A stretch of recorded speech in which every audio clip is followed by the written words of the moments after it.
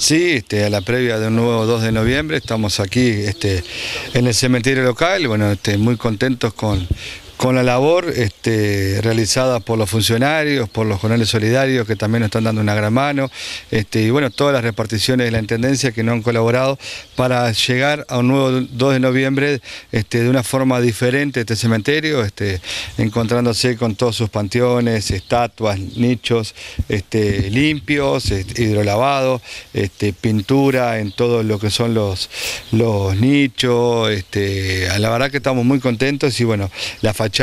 este, a la entrada del cementerio lo mismo, eh, un gran trabajo este, desde la Dirección General pero también todos los funcionarios que le han puesto muchas, muchas ganas para, bueno, este 2 de noviembre no ser un 2 de noviembre más, sino que todo aquel que venga al, cementerio se vaya contento del cementerio que tiene la ciudad de Florida. vamos a estar de la hora 7 hasta la hora 19, pero si cerca de la hora 19 el, clima acompaña y hay gente aquí dentro del cementerio, van a poder estar este, un rato más, se, puede se puede extender sin ningún problema, ya está hablado con los funcionarios y bueno, hasta yo mismo si me tengo que quedar no va a haber problema porque entendemos que es un día especial y como día especial que es, este, no podemos estar retirando a ningún vecino de Florida para que esté con sus seres queridos aquí un rato, ¿verdad?